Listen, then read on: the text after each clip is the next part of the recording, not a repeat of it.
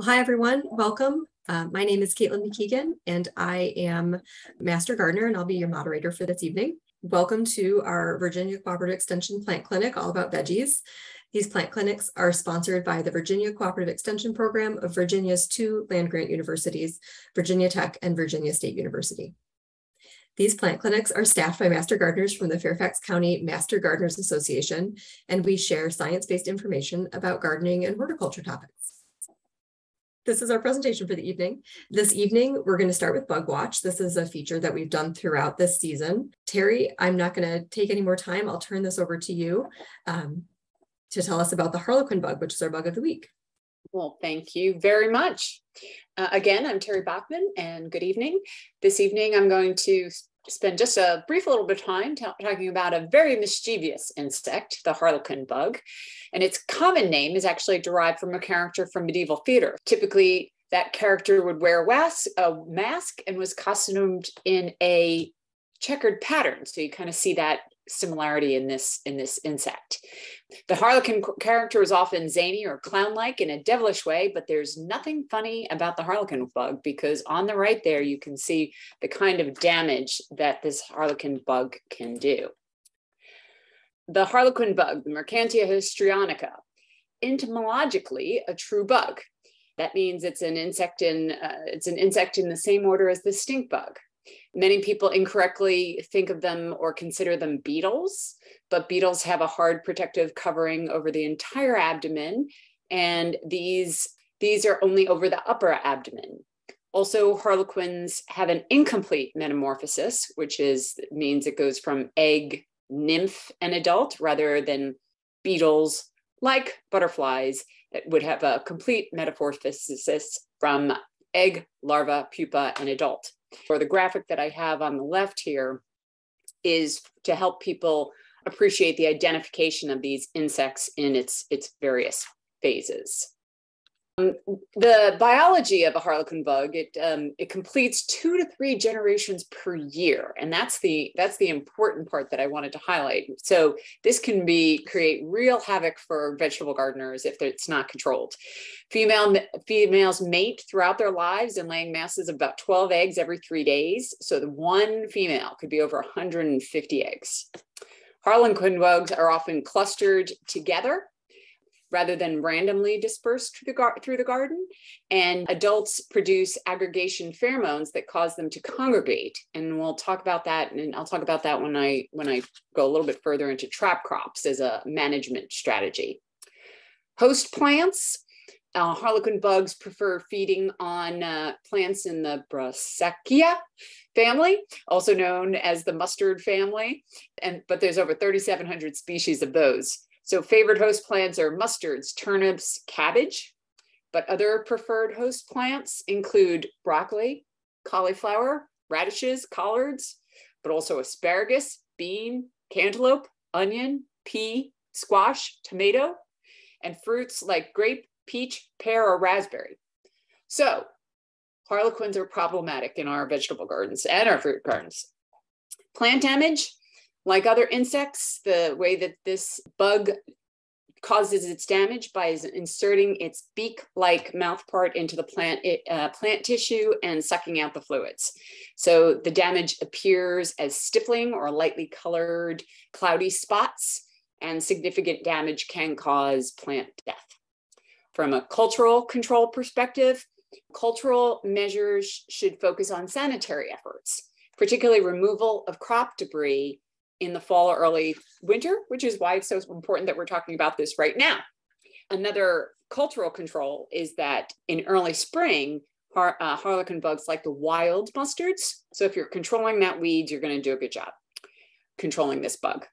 Trap crops, as I mentioned uh, a little bit, is because the harlequins like to congregate.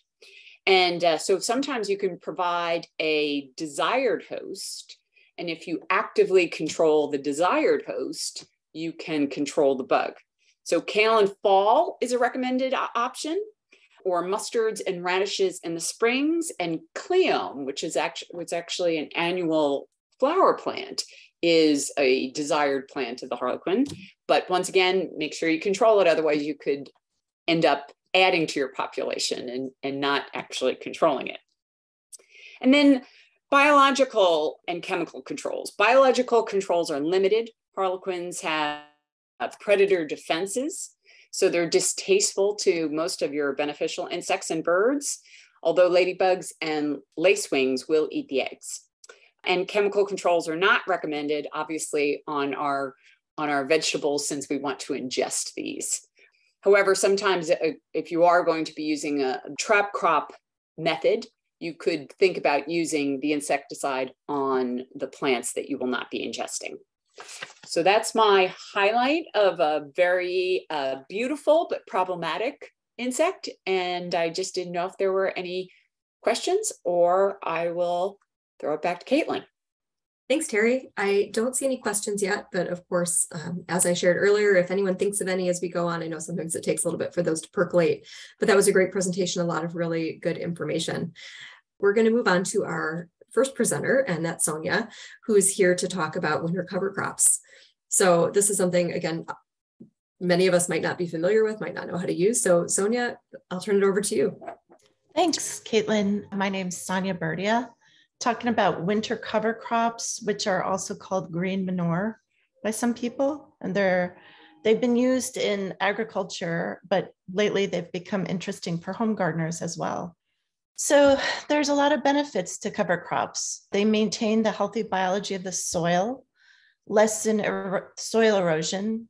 There's a added organic material when either the crops die with the frost or you turn them under in the spring. The added organic material improves soil quality, nutrients are added, weeds are suppressed because the cover crops will crowd out the weeds and the soil permeability is improved. Winter cover crops are the ones are recommended for the home gardener in Northern Virginia. So these are crops that are planted in the vegetable garden towards the end of the growing season, starting mid-August and going through mid, mid-October, you can plant some of these. And the recommendation is that you actually, rather than using one type of cover crop, that you mix seeds of a combination of legumes and non-legumes, and you can actually buy uh, pre-mixed seed packages. One thought that I came across is that for the newbie uh, green manure person that oats are an easy crop to try it out because oats die with the first frost. So you're not going to end up with cover crops growing in the spring on your on your garden beds. You're just going to end up with this nice uh, biomass from the oats. They also recommend trying winter rye because in the spring you can pull those easily. And then the, the final recommendation is if you do choose to do a cover crop that flowers, such as crimson clover, you want to make sure and cut it back before they go to seed. So when you think about 30% of the flowers have bloomed, that's the time to cut it back. And that's when you'll have the maximum amount of nutrients from the from the cover crops. We basically mow it down before it goes to seed and then you have a new problem. So here's some of the legume cover crops recommended for Northern Virginia, there's crimson clover, and there was a picture of crimson clover already that, with the beautiful little red flowers. It's Trifolium incarnatum. It's a reseeding annual, so you have to make sure to chop that down before it goes to seed. And then field peas, and I looked at looked up what that is. Field peas are southern peas or cow peas, such as the black-eyed pea. Vigna unguiculata that's killed by hard frost. So you don't have to worry about that coming in the spring. Vetch and the, the photo behind this slide with the little purple flowers. I think the, the pretty purple flowers, that's hairy vetch. I, I, you guys have probably seen that in the woods. That will regrow in the spring, so it needs to be turned under white clover, which is a perennial, and it's it's slow to start. And then the Austrian winter pea, Pisum sativum, it will go dormant over the winter and start growing again in the spring. So again, that's when to to plow under. But the good thing about legumes is that they they fix nitrogen in the soil, so they're really great to have in the soil to increase the nitrogen in your soil. The non-legumes, annual ryegrass, which you can sow all through the summer to late summer. Buckwheat, which is actually the photo is, is a photo of buckwheat plants. That's an annual and it grows quickly. That's suggested as a summer cover crop. Again, we talked about oats. There's something called tilling radish, which is some such as daikon radish. Those are great because the tap roots break up soil compaction. There's the winter rye, which I spoke about before, which is great because you can hand pull it and put and fly it down. And winter wheat, which is a hardy annual, so it can survive the winter. And then there's the brassicas and the mustards. And I wanted to talk a little bit more about the brassicas and the mustards in the next slide. So brassicas and mustards, they produce these glucosinolates and isothiocyanates that are just regular chemicals in the plant, the plants that suppress pathogenic fungi and nematodes. So I started looking into that. And in fact, it, that, you know, in agriculture, when there's a nematode problem, that they've been trying to use a field of mustards to try to really kill those, those bad nematodes. And they grow the plant and then they chop it and they mix it in the soil. And then the, the, the plant biomass releases these they're essentially like pesticides it's organic from the from the mustards into the soil and then that that actually is toxic to the bad microbes and kills them off. So i think that's that's pretty cool. So and how to plant crop cover crops you can start them when the vegetables are still growing in mid-August or so, and you want to just remove the mulch from the vegetable beds as the seeds need to be in contact with the soil to germinate. And broad, you can broadcast the seed mix, which, you know, by hand, kind of trying to throw them in a sort of even way. And then once you've done that, rake them gently in the soil, and you can just sort of walk on the on the on the soil to to press them into the soil. And then here are my references. The University of Kentucky College of Agriculture, Food and Environment, The Basics of Biofumigation. That was an article talking about the mustards and the brassicas. It's, it's a little bit more than just your basic cover crop information, but that's, it, it was, it was just interesting.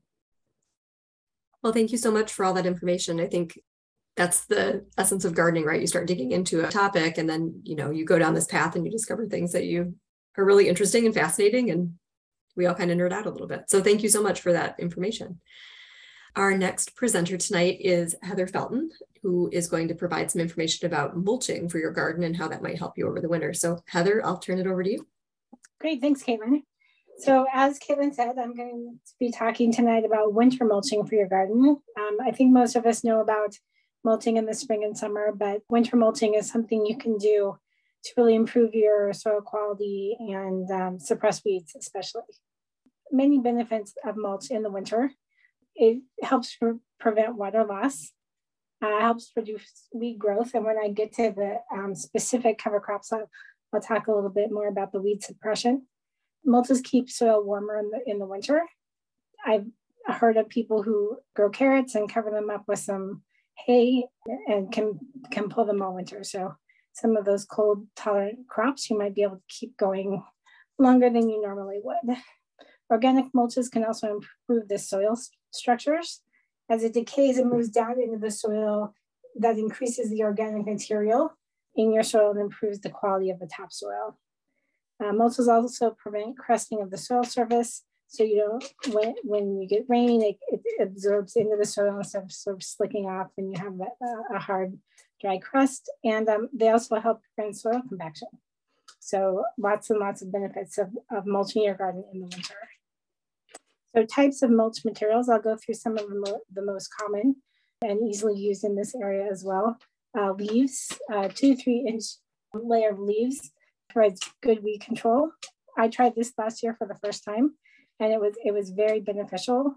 We shredded the leaves with our lawnmower, spread them onto the garden, and it in the spring there were no weeds at all until we started moving the um, leaves around and kind of tilling them under. So that was from personal experience. Leaves work well and they're they're free if you have trees in your yard. So that's a that's a, also a benefit. oak and beech leaves will make your soil imp- increase the acid acidity of your soil. So if you have acid loving plants, you can use those leaves maybe kind of specifically around those particular plants. And after the, the leaves decompose, turn them over into the soil and put a new layer of mulch on top so that um, it increases your organic matter and uh, the soil structure too. Leaf mold, um, the, like sort of the second stage of leaf mulching. The, this is using leaves that have, have already started to decompose. It makes it excellent mulch and improves the quality of your soil.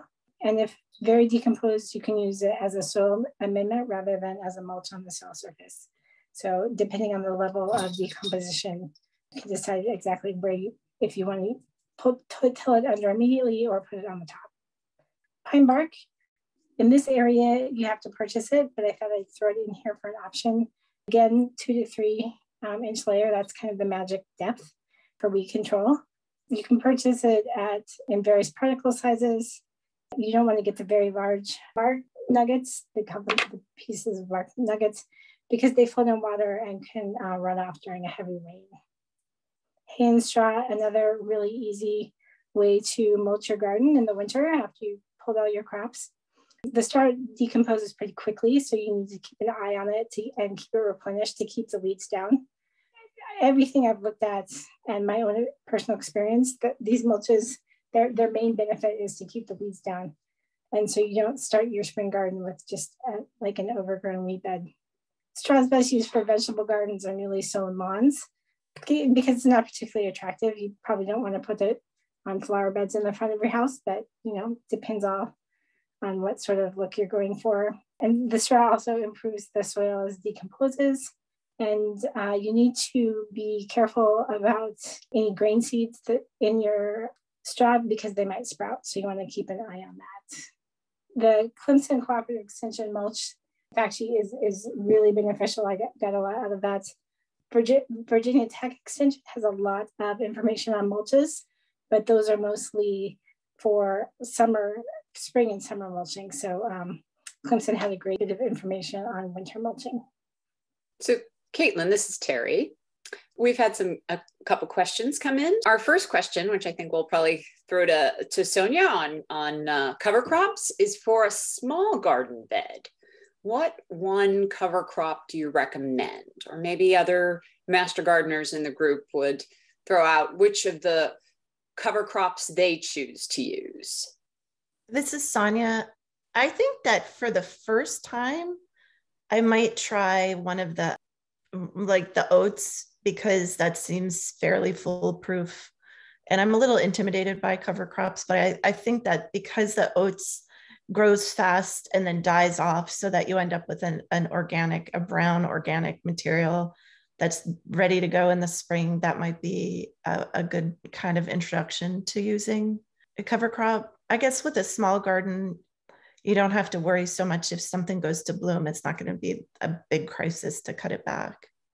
So I've used winter rye, just straight winter rye. And I've also used the mixes with the, the rye and the the peas and the the turn or the radishes, the kind of the legume non-legume mixes. And I think all of the, those that I've tried have been super easy to use. We just till them under in the spring and don't be intimidated. I just have I have a pretty small garden and we just put the cover crops directly into the raised beds, and it's pretty easy and not intimidating. Okay. That's great. And and as a follow-on, question would all the today's information this evening about cover crops and i also assume that means about mulching should would, should we be thinking about this for our flower beds and not just our vegetable beds so i'm not sure if anyone uses cover crops for their flower beds Eh, you know in the cover crop articles they they did they discussed how a a garden bed a flower bed is somewhat like a similar in a sense to a bed that's a cover vegetable garden with a cover crop because you have bulbs and perennials and annuals like a different different kinds of layering of plants going on there. And so a lot of the things that you get from cover crops like weed suppression and permeability because of different kinds of roots are sort of already there. That's what I got from from what I read. And maybe one thing to jump in here, it depends, I guess, on whether or not you're growing perennial flowers in your flower beds or if it's some if it's a place where you're planting annuals every year. Like Sonia said, if you have perennials and things that are there, the permeability is already the benefits of cover crops are are not so much needed. But if it's somewhere that you're going to put, you know, annuals, then I don't see any harm in a cover crop, right? Yeah, no, definitely. Those I think are our questions for now. Great. Well, thank you so much. And thanks, Heather, for your presentation. That was really informative. Knew a lot about mulching in the summer and spring, but had not considered it for the fall. So definitely think about it. So our final presenter tonight is Pinar, who's here to talk about cleaning your tools for winter. And as I said at the beginning, something I am personally very bad about. So I'm excited to hear your advice for all of us. So I'll turn it over to you. Well, I'm personally horrible at it too. So hopefully this will be a good starting point for me to get better. Everyone's favorite topic, cleaning. But it's important that we that we clean our tools before we store them for the next season because this one lengthens the lives of our tools and two it will stop or help stop the spread of germs. There are a few steps in cleaning and storing our tools. First we need to to clean them. Then we have if there's any rust we have to remove the rust. Then we have to disinfect. Then for the metal parts use a protective coat then we can store and i'll talk about these in detail the first step is cleaning before disinfecting and to clean you can use water and soap or a hard spray of water. If if there's dirt on the on rough surfaces of tools, you can use a, a stiff brush to brush the, the the dirt away. If there's sap on the tool, you can scrape it with paint scraper or use paint thinner to wash away to clean away the sap if there's dirt between the tines and the handle, it might be a good idea to to remote take apart the tool to clean better. And if after all of this, if necessary, you can follow up with a wet rag to just make sure everything's clean. Once the tools are clean, you can check for any rust if there's rust on the tools, you can use sandpaper to sand away the rust. And when once that's done, we can move on to disinfecting. And for disinfecting your tools, there are some options out there. I'll just talk about two one for smaller items and one for larger tools. For smaller tools like hand uh, spades and tines and blades, you can use an all purpose cleaner. What the references suggested was 0.1% alkyl dimethyl benzyl ammonium saccharinate, which is apparently what all those Lysol all purpose cleaners are. You can either spray it directly to the tool or you can dip if you have not the spray but the the liquid kind you can dip your tool in it. As i said this is a good option for smaller tools but if you have larger tools like your shovel that you want to disinfect you can make a, a bleach mix. You use nine parts water to one part bleach in a big bucket and you dip your tools in there leave them for a bit and voila, they're disinfected. Of course, be careful with bleach. Once tools the tools are disinfected, wait till they're dry. And for any metal surfaces, it's a good idea to use a protectant like WD 40.